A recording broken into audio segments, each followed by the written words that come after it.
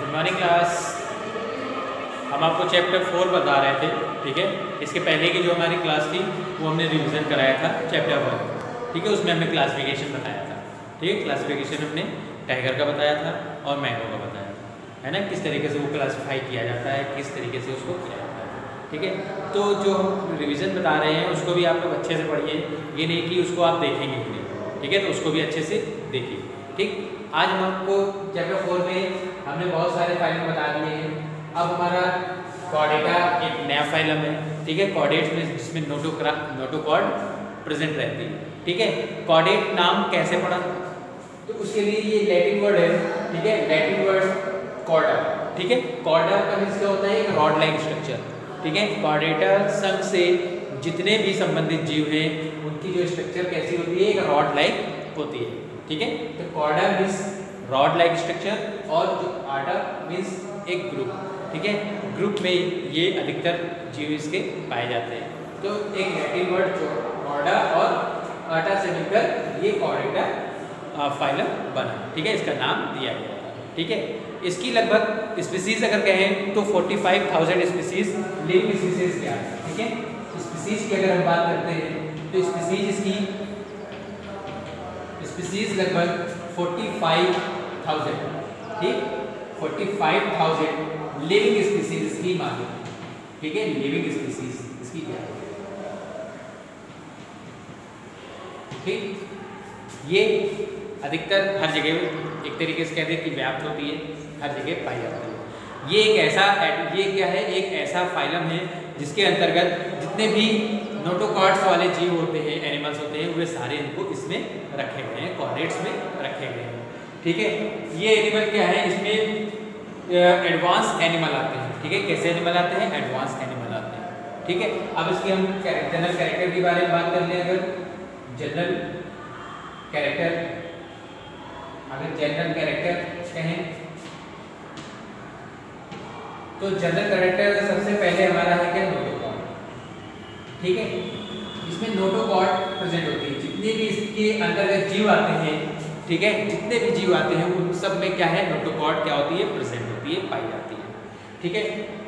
These have solid and unjointed ठीक है? जो कि अनजॉइंट होते हैं सॉलिड होते हैं, और मीजोडर्मल रॉड के वैक्यूलेटेड से जुड़े हुए होते हैं। ठीक है?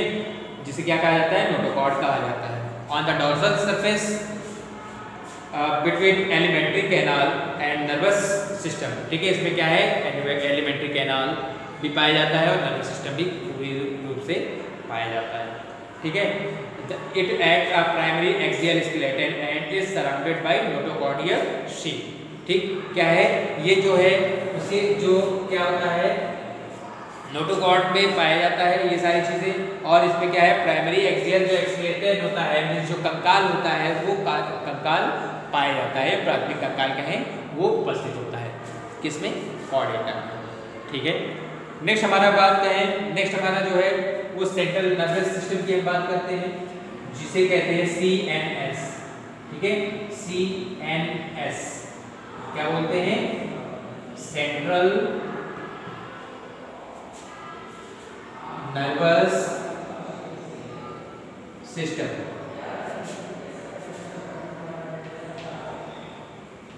ठीक है? क्या बोलते हैं? सेंट्रल नर्वस सिस्टम या सीएनएस ठीक है? तंत्रिका तंत्र जिसे बोलते हैं। ठीक है? परिधि जो केंद्र की तंत्रिका तंत्र होता है, उसकी हम बात करते हैं। फाइलम कॉर्डेटा ठीक है? उसमें क्या होता है? It is always dorsal and hollow ये क्या हमेशा होता है? डॉर्सल साइड में स्थित होता है और हॉलो हॉलो होता है। हॉलो मींस खोखला। ठीक है? डॉर्सल एंड हॉलो ठीक है? जो इसका होता है एरिया कैसा होता है, पूरा इसकी बॉडी कैसी होती है? हॉलो होली होती है, ठीक है?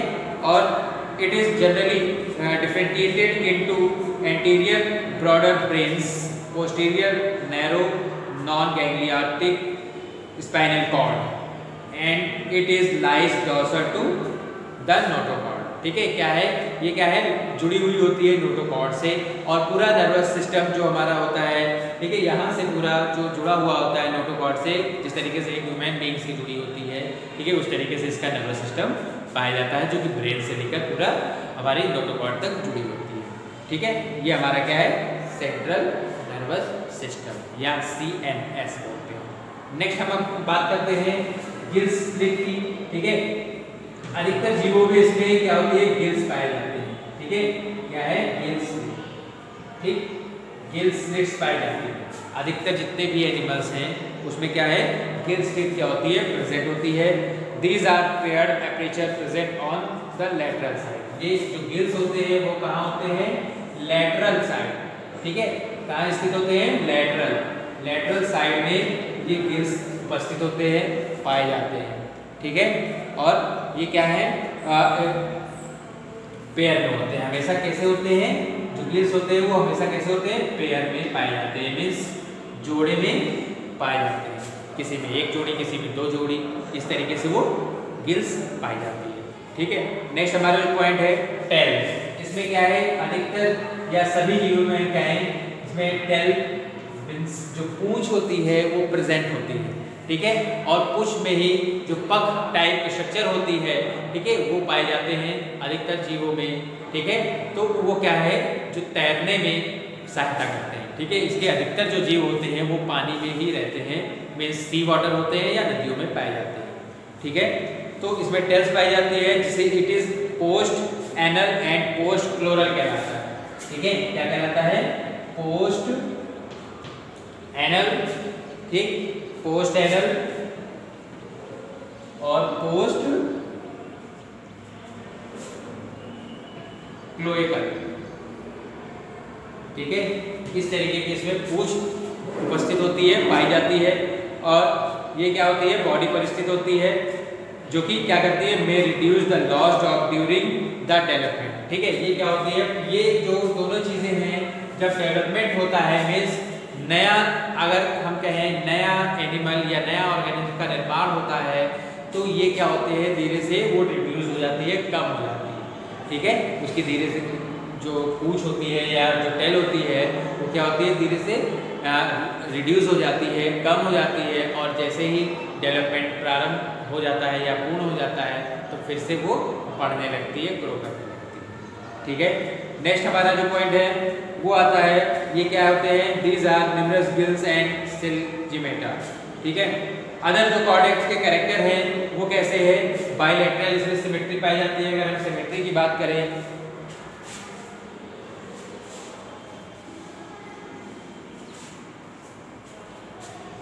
नेक्स्ट पॉइंट है सिमेट्री ठीक है? अगर हम सिमेट्री की बात करते हैं तो सिमेट्री इसमें कौन सी पाई जाती है? बाईलैटरल सिमेट्री पाई जाती है। बाईलैटरल हमने आपको सिमेट्री के बारे में बताया था कि क्या होता है, ठीक है? तो बाईलैटरल इसमें सिमेट्री या द्विपार्श्व सममिति पाई जाती है ठीक है? द्विपार्श्व सममिति कहते हैं इसको, ठीक है? बायोलेटरल सिमेट्री उसमें उपस्थित होती है। और ये जो होते हैं एनिमल अधिकतर, वो कैसे होते हैं? ट्रिप्लो ट्रिप्लोब्लास्टिक होते हैं। कैसे होते हैं? ट्रिप्लो ट्रिप्लोब्लास्टिक ठीक? ट्रिप्लोब्लास्टिक एनिमल्स होते हैं, ठीक है? मतलब ये इनका जो लेयर कितनी लेयर से बनते होते हैं? जो जर्म लेयर होती है, ठीक है? जर्म स्तर पाया जाता है वो कैसा होता है? ट्रिप्लोब्लास्टिक होता है मीन्स एंडोडर्म एक्टोडर्म और मीजोडर्म से मिलकर बना हुआ होता है, ठीक है?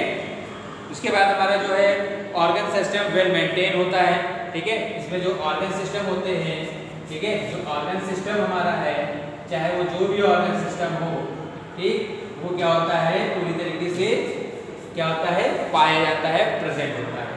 ठीक है? और वेल मेंटेन वेल डेवलप जो हमारा ऑर्गन सिस्टम है इसमें, वो पूरा पाया जाता है इन कॉर्डेट्स में कॉर्डेटा ठीक? नेक्स्ट हमारा जो एंडोस्केलेटन है या एंडो एक्सोस्केलेटन है, वो भी पाया जाता है। ठीक है? इसमें जो रेस्पिरेटरी और एक्सक्रेटरी ऑर्गन होते हैं। ठीक है? कैसे ऑर्गन होते हैं? रेस्पिरेटरी जो श्वसन अंग होते हैं रेस्पिरेटरी एंड एक्सक्रेटरी एक्सक्रेटरी ठीक है? ये ऑर्गन होते हैं, ये सिस्टम जो होता है, वो प्रेजेंट होता है। किसमें प्रेजेंट होता है? कॉर्डेटा फाइनल में। ठीक है? तो ऑर्गन रेस्पिरेटरी मीन्स श्वसन अंग और एक्सक्रेटरी मीन्स उत्सर्जन तंत्र इसमें पाया जाता है। ठीक है? इसके अगर हम एग्ज़ाम्पल की बात करें तो एग्ज़ाम्पल में कौन कौन से एग्ज़ाम्पल है? पहला मान लीजिए एग्ज़ाम्पल इसका है। जो एग्ज़ाम्पल फ़र्स्ट है, वो हर्ड मानिया होता है। हर्ड मानिया। ठीक है? हर्ड मानिया। ठीक? उसके बाद क्या है? साल्पा। क्या है? साल्पा। इसका मुख्य एग्ज़ाम्पल है। ठीक है? और डॉल डोलियोडम ठीक है? क्या है? डोलियोडम ठीक है? और क्या है? एक्सीडिया। ए, एक्सीडिना। ठीक? ये हमारे क्या है? मुख्य एग्ज़ाम्पल है कोऑर्डिनेटर से रिलेटेड। इसके बाद हम आपको क्लासिफिकेशन बताएँगे कि ये कॉर्डेट को कितने भागों में बांटा गया है। वो सारी चीज़ें हम आपको नेक्स्ट वीडियो में बताएँगे। ठीक है? अच्छे से आप लोग पढ़िए रिवाइज करिए। जो चीज़ समझ में ना आए, उसको हमें बताइए। ठीक है? और जो हम रिविज़न करा रहे हैं चैप्टर्स का चैप्टर फ़र्स्ट हो गया है, ठीक है? तो उसको भी अच्छे से पढ़िए। अगर उसमें भी कोई प्रॉब्लम हो तो हमसे डिस्कस करिए। जो भी प्रॉब्लम हो, वो हमसे डिस्कस करिए तभी हम आपको पूरी क्लियर बातें बता सकते हैं। ठीक? Okay have a nice day